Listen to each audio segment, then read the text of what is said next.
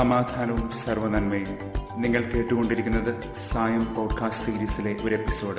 ഞാൻ കപ്പുച്ചൻ സന്യാസ വൈദികനായ ജയന്ത് മേരി ചെറിയാൻ. ഇന്ന് പരമപരിശുദ്ധ തൃത്വത്തിന്റെ തിരുനാളാണ്. ആ രഹസ്യത്തിലേക്ക് ചെറിയൊരു താക്കോൽ പഴുത് തേടുകയാണ് നമ്മൾ ഇന്ന്. മഹാനായ വിശുദ്ധ ഗ്രിഗറി പാപ്പായുടെ ഒരു തൃത്വസ്തുതിയുണ്ട്. പ്രീമോതിയെ കോത്രിനിത്താസ് പരിശുദ്ധ തൃത്വം എല്ലാം സൃഷ്ടിച്ച ആ ആദ്യ ദിവസം എന്നാരംഭിക്കുന്നൊരു ഗീതം. ആ ആദ്യ ദിവസം എരുളിന്റെ മുകളിൽ ദൈവം വെളിച്ചമുണർത്തി സൃഷ്ടിയുടെ ആദ്യ ഭാഗമാണത്.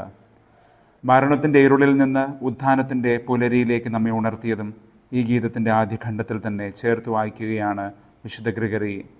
ഇതോർത്തുകൊണ്ട് ഇരവിന്റെ ആഘോഷങ്ങളിൽ നിന്നും ആലസ്യത്തിൽ നിന്നും ദുരാലോചനകളിൽ നിന്നും നമ്മൾ ഉണർന്ന് ദൈവത്തിലേക്ക് ഹൃദയം ഉയർത്തുവാനും മുട്ടുകൾ മടക്കുവാനും ഈ ഗീതം നമ്മെ ക്ഷണിക്കുകയാണ്. ആരാധനയിൽ മടങ്ങിയ മുട്ടുകളും സ്നേഹത്തിൽ നിറഞ്ഞു കവിയുന്ന ഹൃദയങ്ങളും പരിശുദ്ധ തൃത്വത്തെ നാം സമീപിക്കേണ്ട ശൈലികളാണിവ. ഈ തീയതി വിശുദ്ധ ഫിലിപ്പ് നേരിയുടെ തിരുനാൾ കൂടിയാണല്ലോ.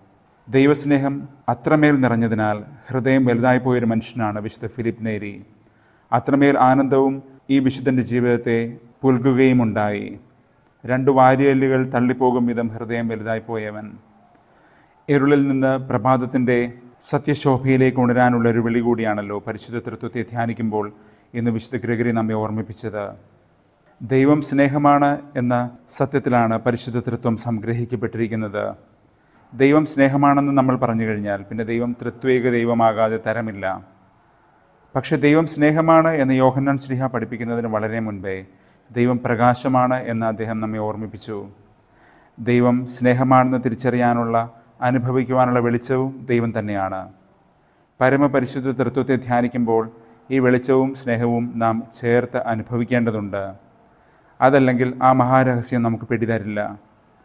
കഴിഞ്ഞ ദിവസം നാം ധ്യാനിച്ച ആ രണ്ട് വാക്കുകളുണ്ടല്ലോ സങ്കീർത്തനം നാൽപ്പത്തി ഒമ്പതിൽ യാലീൻ രാത്രി രാത്രിയുടെ വിശ്രമം എന്നൊക്കെ. യാവീൻ നമ്മുടെ ബുദ്ധി ഉണർത്തുന്ന ധാരണകൾ ആലോചന തിരിച്ചറിവുകൾ എന്നിവ അണ്ടർസ്റ്റാൻഡിങ് ആൻഡ് ഗ്രാസ്പ് ഇന്നലകളുടെ സമൃദ്ധികളെ ധ്യാനിച്ചുകൊണ്ട് നാളെയുടെ നന്മകളെ രൂപപ്പെടുത്തുന്ന ആ ഇരവിന്റെ ഇടനാഴിയിൽ നാം എന്തൊക്കെയാണ് വിചാരിച്ചു കൂട്ടുന്നത്? ഇന്ന് നിയമാവർത്തനം നാലിൽ മോശ ജനത്തോട് പിറകിലേക്ക് തിരിഞ്ഞു നോക്കി. അതായത് സൃഷ്ടിയുടെ ആരംഭം മുതലേ തിരിഞ്ഞു നോക്കി. ലോകമായ ലോകമെല്ലാം ഉറ്റുനോക്കിക്കൊണ്ട് കാര്യങ്ങളെ ഗ്രഹിച്ചെടുക്കുവാൻ ക്ഷണിക്കുന്നത് ഇതിനോട് ചേർത്ത് വായിക്കണം. What did you understand in the night സഹോദര സ്നേഹത്തിന്റെ വ്യാഖ്യാനങ്ങളോടെയാണ് വിശുദ്ധ യാക്കോബ് ഇതിന് അകമ്പടി വന്നതും എന്ന് ഓർക്കണം ഈ ദിവസങ്ങളിൽ. നിങ്ങൾ നിങ്ങളുടെ ദൈവത്തെക്കുറിച്ച് എന്ത് മനസ്സിലാക്കിയിരിക്കുന്നു എന്നത് സഹോദരങ്ങളെക്കുറിച്ചും സഹജീവികളെക്കുറിച്ചും ഈ സുന്ദരമായ സൃഷ്ടപ്രപഞ്ചത്തെക്കുറിച്ചും എന്തൊക്കെയാണ് ചിന്തിച്ചും ഗ്രഹിച്ചും നിശ്ചയിച്ചു വെച്ചിരിക്കുന്നത് എന്നതും കൈകോർത്തു പോകുന്ന കാര്യങ്ങളാണെന്ന് മറക്കരുത്. ദൈവം തൃത്വമാണെന്ന് ക്രിസ്തുവിന്റെ വാക്കുകളിൽ നിന്നാണ് നമ്മൾ അറിയുന്നത്. അവൻ നൽകിയ സാക്ഷ്യത്തിൽ നിന്ന്. ദൈവത്തിന്റെ മാത്രം സ്വന്തം ബിസിനസ്സായ അവിടുത്തെ ഈ ആന്തരിക ജീവിതം എന്തുകൊണ്ടാണ് ക്രിസ്തു നമുക്ക് വെളിപ്പെടുത്തി തന്നത് എന്നതും ഇവിടെ ചിന്തനീയമാണ്. നമ്മൾ ദൈവത്തെ കൃത്യമായി അറിഞ്ഞാൽ മാത്രമേ ദൈവത്തെ കൃത്യമായി അനുകരിക്കാനാവൂ എന്ന് ഓർമ്മിപ്പിച്ചുകൊണ്ട് തന്നെയാണ് നാഥൻ അത് ചെയ്തത്. ദൈവം ഒരു സ്നേഹക്കൂട്ടായ്മയിലാണ് അനുഭവവേദ്യനാകുന്നത്. കമ്മ്യൂണിയൻ കമ്മ്യൂണിയൻ ഓഫ് പേഴ്സൺസ് വ്യക്തികളുടെ കൂട്ടായ്മ. അതുകൊണ്ട് തന്നെ ഇഹലോകത്തിലെ നമ്മുടെ ബന്ധങ്ങളെയും വ്യാപാരങ്ങളെയും അത് നിർണയിക്കുന്നു ഇങ്ങനെ സ്നേഹക്കൂട്ടായ്മയാകുന്ന ദൈവം കമ്മ്യൂണിയൻ ഈ സ്നേഹം നമ്മിലേക്ക് ചൊരിയുന്നു. കമ്മ്യൂണിക്കേറ്റ്. കൂട്ടായ്മയിലായിരിക്കുന്നവർക്ക് ഇങ്ങനെ സ്നേഹം ചൊരിയാതിരിക്കാൻ സാധിക്കുകയില്ല. അതുകൊണ്ട് തന്നെയാണ് മത്തായി ഇരുപത്തെട്ടിൽ ഇന്ന് ഈ പ്രേക്ഷിത ദൗത്യം നമ്മെ പഠിപ്പിച്ചു തരുന്നത്. പിതാവ് പുത്രനെ അയച്ചതുപോലെ തന്നെയാണ് നമ്മൾ സ്നേഹവുമായി ലോകത്തിലേക്ക് അയക്കപ്പെടുന്നത് എന്ന് മനസ്സിലാക്കണം. അതിനാൽ ഇരവിന്റെ യാലീൻ ആക്കത്തിൽ നമ്മിൽ ഉതിരുന്ന ധാരണകൾ യാവീൻ എന്തെന്ന് നമ്മൾ തിരിച്ചറിയണം. ദൈവത്തെ നമ്മൾ എങ്ങനെയാണ് മനസ്സിലാക്കിയിരിക്കുന്നത് എന്ന്. അതിലും രസകരമായ കാര്യം എന്തെന്നാൽ ദൈവത്തെ നമ്മൾ എങ്ങനെയെങ്കിലും മനസ്സിലാക്കാൻ ശ്രമിച്ചാലും ദൈവം നമുക്ക് പൂർണമായി പിടിതരില്ല എന്നതാണ്. പരിശുദ്ധത്വം എന്ന അതിവ്യ മഹാരഹസ്യം നമുക്ക് ദുർഗ്രഹമായി തോന്നുന്നതും അതുകൊണ്ട് തന്നെയാണ്.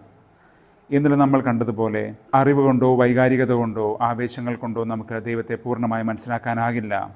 പക്ഷേ അതിലേക്ക് സ്നേഹത്തിന്റെ ഒരു സുനിശ്ചിതമായ കുറുക്കു വഴിയുണ്ടെന്ന് ഓർക്കണം. ആവേശങ്ങളും തീക്ഷ്ണകളും പാതി വഴി തകർന്നു പോകുന്നിടത്ത് സ്നേഹം വേലിക്കെട്ടുകളില്ലാതെ നമ്മെ ദൈവത്തിലേക്ക് വലിച്ചടിപ്പിക്കുകയാണ്. ദൈവം സ്നേഹമാണ്. പരിശുദ്ധ തൃത്വം ഒരു ഗഹനമായ സൂക്ഷിച്ച് സംസാരിക്കേണ്ട ദിവ്യമഹാരഹസ്യമാണെന്ന് സഭ നമുക്ക് പറഞ്ഞു തരുമ്പോൾ ഈ തിരിച്ചറിവ് കൂടിയാണ് ഉണർത്തുന്നത്. ദൈവത്തെ മനസ്സിലാക്കുന്നതിലും അനുകരിക്കുന്നതിലും നമ്മുടെ മാനുഷിക ഗണിതം അല്പം മാറ്റിപ്പിടിക്കണമെന്ന്. ദൈവത്തെ പൂർണമായി അറിയാമെന്ന് വന്നാൽ അത് ദൈവമായിരിക്കില്ല എന്ന് വിശുദ്ധ അഗസ്തീനോസ് തിരിച്ചറിഞ്ഞതുപോലെ അതേസമയം ഇന്നലെ പ്രാർത്ഥനയെക്കുറിച്ച് നമ്മൾ ധ്യാനിച്ച വേളയിൽ മനസ്സിലാക്കിയതുപോലെ അറിവ് കൊണ്ടോ ആവേശം കൊണ്ടോ നേടാനാകാത്തത് സ്നേഹത്തിന്റെ തിരതള്ളൽ കൊണ്ട് നമുക്ക് നേടാനാകും. നമ്മൾ മകനായ ക്രിസ്തുവിനെ പോലെ പ്രാർത്ഥിക്കുമ്പോൾ നമ്മൾ ദൈവമക്കൾ തന്നെയാണ് എന്ന് റോമാക്കാർക്ക് എഴുതിയ ലേഖനം എട്ടാം അധ്യായത്തിൽ ശ്രീഹ ഓർമ്മിപ്പിക്കുന്നത് ഈ അർത്ഥത്തിലാണ്. നമ്മൾ ദൈവത്തെ സമീപിക്കേണ്ടതും ദൈവത്തെ മനസ്സിലാക്കേണ്ടതും പുത്രനായ ക്രിസ്തുവിന്റെ അതേ പാറ്റേണിൽ തന്നെയാണ് അവൻ പഠിപ്പിച്ചു തന്ന വഴിയിൽ നമ്മുടെ പ്രാർത്ഥനകളും ആരാധനകളും അതുകൊണ്ട് തന്നെ മക്കൾക്ക് യോജിച്ച വിധമായിരിക്കണം. പുത്രസ്വീകാര്യത്തിന്റെ ആത്മാവിനെയാണല്ലോ നമുക്ക് ലഭിച്ചിരിക്കുന്നത്. എഡ്രിയൻ ഫോൺസ്പേയ എന്നൊരു വിഖ്യാതനായ ദൈവജ്ഞൻ നമ്മെ ഓർമ്മിപ്പിക്കുന്ന ഒരു കാര്യമുണ്ട്. ക്രിസ്തീയതയിൽ നിരവധി മഹാരഹസ്യങ്ങളുണ്ട്.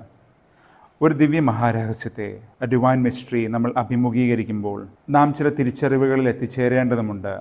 ചുരുങ്ങിപ്പോവുകയല്ല നമ്മൾ ചെയ്യേണ്ടത്. നമ്മൾ അറിയണം ഈ സത്യം ഈ മഹാരഹസ്യം എന്നെ കവച്ചു വയ്ക്കുന്നതാണ് അതെന്നേക്കാൾ വലുതാണ്. അതുകൊണ്ട് തന്നെ ഈ ദിവ്യ മഹാരഹസ്യത്തെ ഉൾക്കൊള്ളണമെങ്കിൽ ഞാൻ ഓരോ പ്രാവശ്യവും അതിനെ സമീപിക്കുമ്പോൾ ഇത്തിരി ഇത്തിരിയായി പടി കയറേണ്ടത് പ്രധാനമാണ്. ഓരോ തവണയും ഇത്തിരി ഇത്തിരി അധികമായി അതിനെ നുകർന്നുകൊണ്ടേയിരിക്കണം. പരിശുദ്ധ തൃത്വത്തെ മനസ്സിലാക്കണമെങ്കിലും ഓരോ ചുവടിലും നമ്മുടെ ഹൃദയം വലുതായിക്കൊണ്ടിരിക്കണം. കാരണം ദൈവം തന്നെയാണ് സ്നേഹമായി നമ്മിലേക്ക് ചൊരിയപ്പെട്ടിരിക്കുന്നത്. ആ സ്നേഹത്തോട് സ്വീകരിക്കാൻ നമ്മളുടെ ഹൃദയങ്ങൾ എത്ര വലുതായാലും മതിയാകില്ല.